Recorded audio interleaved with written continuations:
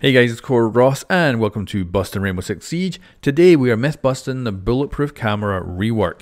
Now we've seen this before, this actually showed up on the test servers two seasons ago, so that's six months ago. And this rework allows the camera to be panned around and also to fire an EMP burst and any living defender can take full control of this camera. Now if an attacker hacks into it they can pan around as well but they cannot fire off the EMP. Now let's get into the test for this gadget and usual disclaimer here, this is all in the test server so things may get tweaked and some interactions may change, but let's get to the myths.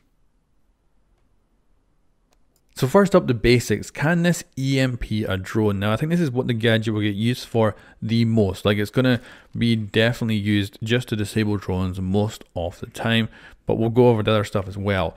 So of course you just shoot it and that is it. It's really simple and the EMP lasts around about 7 seconds. It's not very long but it's easily long enough to disable a drone and then someone can run up and destroy it. And any defender who's alive can use the camera's EMP. And I could definitely see a combo of Mozzie and another defender using it in order to try and you know collect up drones really simply and really easily with this. However, you can also EMP a character as well. So for instance here we're EMPing Iana, she is then unable to get into her drones because her little phone is disabled and if her gadget is on her body and it's electrical, it'll also be disabled for a short time as well. There's an on-screen prompt to let you know when you have been EMP'd by the bulletproof cam.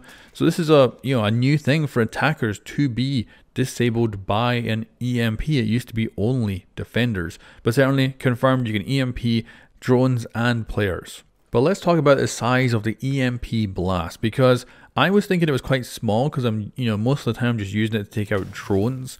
But I set up a wall of Hibanas and I went and I shot the EMP at them and I was surprised at how large the actual area of effect is. Of course, it's nowhere near like a Thatcher EMP, but it's still surprisingly big and it means you don't have to be particularly accurate to actually hit a drone and disable it. So it's confirmed it actually has quite a decent sized AoE. Now the next test was range. Now this used to be called, when the first time we seen it, an EMP dart, which would have presumably meant that it was some sort of projectile that actually flew through the air. And I thought, is there a, you know, a maximum range to this? Because it's now called an EMP burst. Now you cannot in this update put cameras outside. You lose connection after 10 seconds. So of course I would have in the past probably gone outside to like to the runway on plane and I would have fired this thing all the way across the runway. But to make this more a reasonable test, we've actually just got a very long corridor, what I would consider to be a you know, particularly long one in Rainbow Six Siege, and this thing easily fires over that distance, no problem. But that is confirmed, the range on this thing is unlimited, or at least unlimited enough to be at any range in Rainbow Six Siege's maps. And I'm glad I like rocking a gun 6 because I'm going to be shooting these all the time when I see them. The Defender EMP also disables defenders. So what we're looking at here is Vigil. His ability is on. If we go into the cameras and then we come out, you can see how his ability is still on. It maintains the ability, but if we EMP him, it switches the ability off. Now this is a bit strange because if another defender comes in and EMPs him, it doesn't do anything. There's no indication of an EMP whatsoever. So what I thought here is maybe the fact that I'm using a main ability on this gadget is just overriding my one. So watch this. We EMP away from Vigil and his ability has been switched off. So it is busted.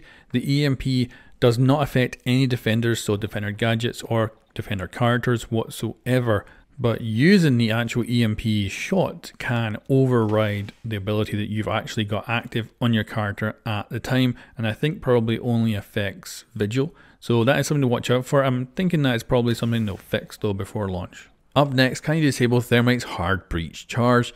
So this of course extends out to other devices too that are remotely detonated.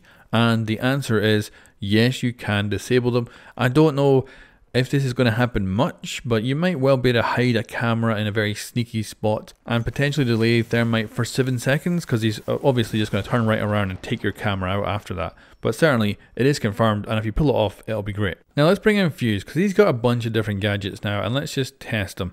So first of all, the secondary hard breach. If Fuze himself is EMP'd and puts the charge up, it works completely fine.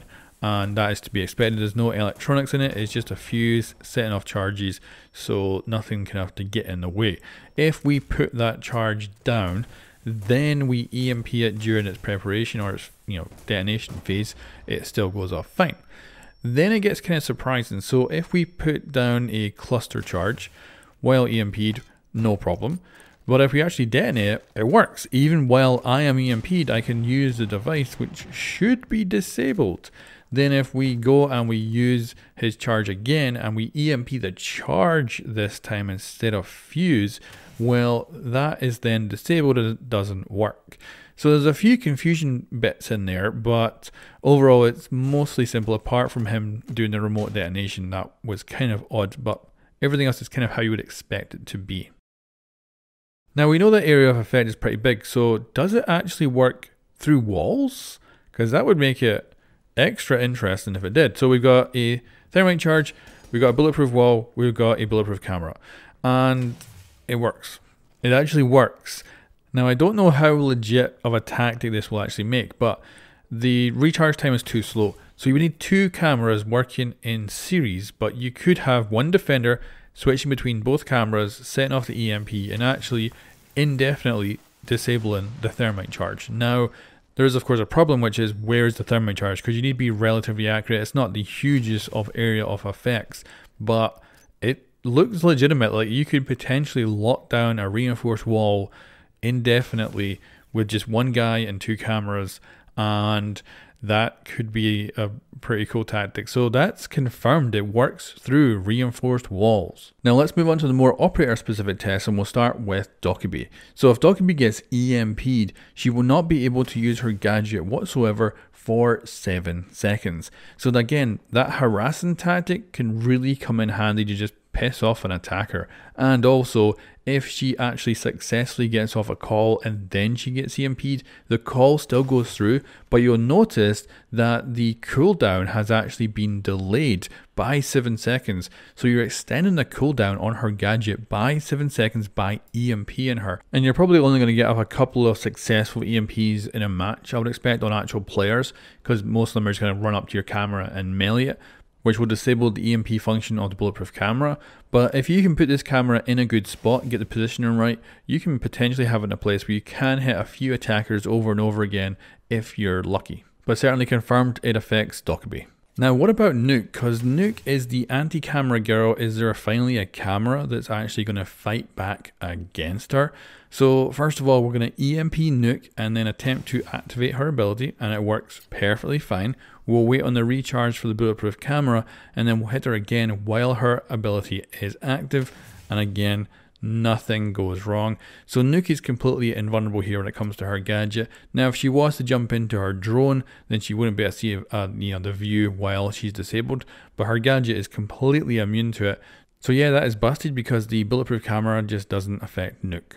So let's take a look at the interaction with Jackal. And Jackal's is a bit more severe. So if he's just got his HUD on and looking for footprints and he gets EMP'd, it actually switches it off entirely. And again, seven seconds later, he can switch it back on. And again, just like Dokkaebi, if he actually successfully scans a footprint and it starts to ping a defender, even if he gets EMP'd, it will continue to ping that defender. And because his gadget has no cooldown, that also means there's no extension to a cooldown on his gadget, but certainly confirmed it does affect him and actually quite severely. Now we've got a complicated one. So Finka.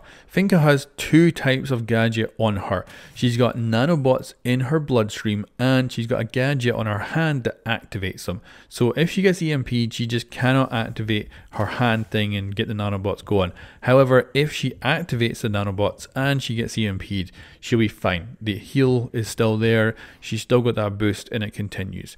And also if any of the attackers get EMP'd and then she boosts them and nanobots still work. So I think we can kind of look at this as the nanobots are immune to the EMP, but the EMP disables the gadget that actually activates the nanobots. This is also exactly the same thing when she is down but not out because the EMP will disable her ability to self-revive. And again, that's for 7 seconds. So this is another legitimate tactic. If you see Finka get down and you're on a bulletproof camera, you can shoot her to actually stop her getting back up. And then potentially the defender can come in and finish her off before she can get revived. So that is confirmed.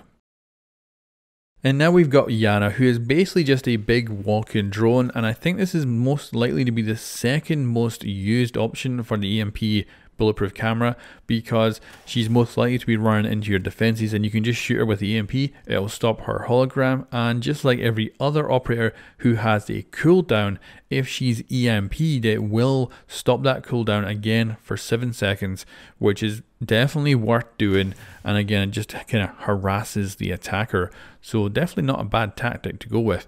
Also you don't have to shoot the hologram. So if she's already launched a hologram and ran away from the bulletproof camera you can just shoot her. And in turn that will disable the actual hologram that she's using right there because you're disabling the tech that she's using to interact with it. So that's confirmed and actually quite useful to know and then we've got Lion. Now, of course, the thing is, Lions, they're really smart. They will use their gadget as soon as they spawn. So they are not going to get EMP'd by bulletproof camera as easily. But it is exactly the same thing. If he gets EMP'd by the camera, he will not be able to use his gadget. But if he's able to get his gadget off before the EMP hits, it'll be fine. And if he gets EMP'd during the cooldown phase, that cooldown will be extended by 7 seconds. So that is confirmed. And now we've got a really cool one if you can pull this off, and that is to EMP a Claymore so your defender buddy can just run on right past. I think this is going to be awesome if anyone's able to pull this off because it looks cool. Now, it's not technically exactly the best tactic because the EMP is actually very loud, as loud as just shooting the Claymore. So it is definitely not the best tactic, but if you can do it, it will certainly look very cool. So that is confirmed. You can EMP Flores' drone. Now, of course, this drone can drive into your objective site and blow up a whole bunch of gadgets. Well, you can actually EMP it. It'll also stay vulnerable too, so you can shoot it while it's disabled, but as soon as the disabled wears off, it will explode, so be wary of that. But that means that, yeah, the EMP camera here is really good against Flores. Now Ace works a lot like a secondary hard breach and I would expect it to work exactly the same with EMP camera here. So if we throw this out, stick it to the wall and then EMP it with the camera, it actually disables it, which I didn't think was going to happen. Now this does make a little bit of sense because mute can stop it, but yeah, kind of interesting. And again, this works through the wall like the thermite charge earlier too. So I don't know if you're going to be again able to make a viable tactic out of this, but certainly it does actually put that 7 second delay into the charge as well, so that's confirmed. You can EMP IQ's gadget. Now IQ's gadget of course is electronic, this should totally disable it and stop it working, but it doesn't. Interesting choice here for developers, they must have made her, you know, kind of immune to it for some reason, and certainly, yeah, very handy to this doesn't do nothing. It's just busted. It does not have any effect on her gadget. We've also got another one here, which is Glaz's scope.